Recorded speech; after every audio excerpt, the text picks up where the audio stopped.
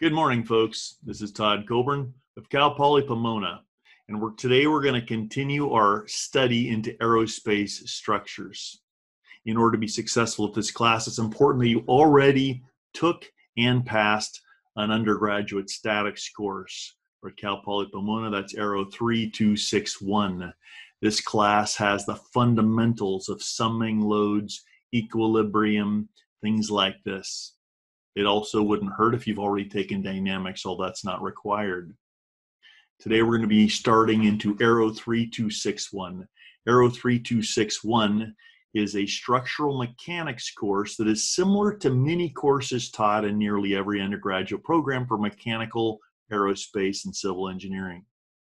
Now, these courses generally focus on the fundamentals, and they usually have very little, if any, aerospace terminology and uh, some of the basic building blocks of analysis that we use in aerospace. In this course, I have added that nomenclature and those techniques so that from the very first moment of this course, you're going to begin to be getting an aerospace perspective on structure, how structures are evaluated and assessed in order to do this, you're going to have to pay close attention and hold tight to your seats because we're going to be moving very fast. If you blink, nap, go on a date, or get distracted, you're going to fall behind and you probably will not catch up. So, do yourself a favor and decide today whether or not you want this class and what you're willing to do to succeed. If you're not sure you want it, drop the class, focus on something else until you change your mind.